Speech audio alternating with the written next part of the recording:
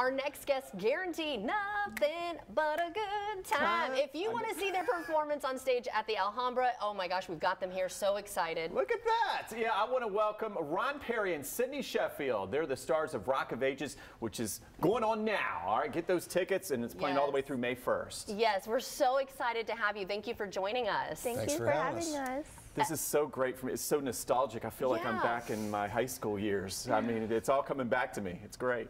Well, for people who maybe have never seen Rock of Ages or heard of it, I will tell you, I saw it in Vegas. It was amazing. We're Okay. going. Uh, but for someone who maybe who hasn't heard of it, tell us the story of Rock of Ages.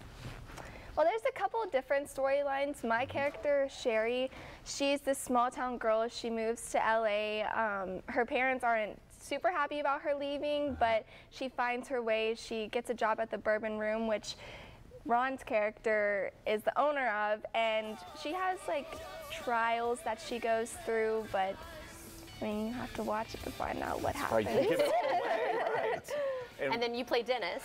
I play Dennis, owner of the Bourbon Room, who is a former rock and roller, uh, which is very close parallel to my own situation. So he's the real thing, even though you're you're not.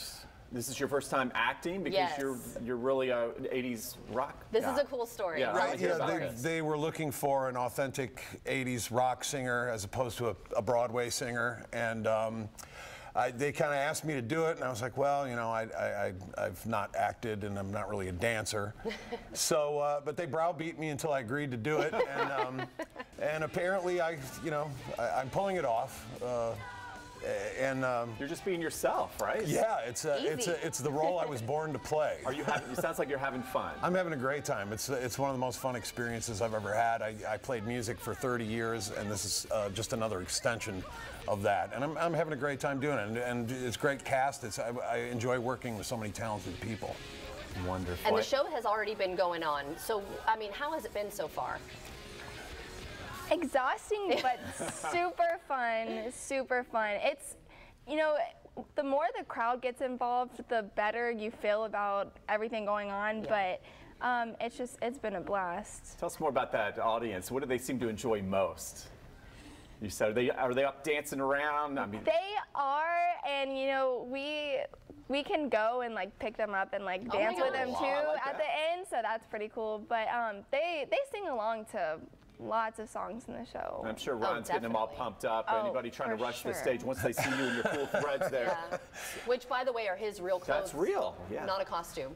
All, Love that. all all came out of my attic from the 80s. and then, what did you tell us about your, what your mom said about your costume? Oh my gosh! Whenever she first saw my costume and my Uh-huh. wig, she was like, "That's me. Like that was me Oh, in yeah. the '80s."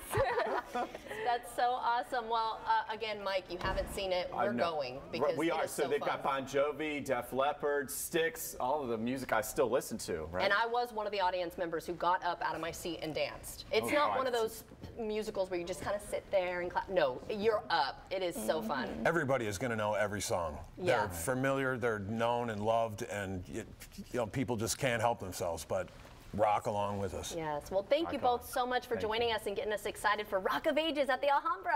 Thank you. you. Yes, of course. And if you'd like to see our segment again, just head over to our website, firstcoastliving.net.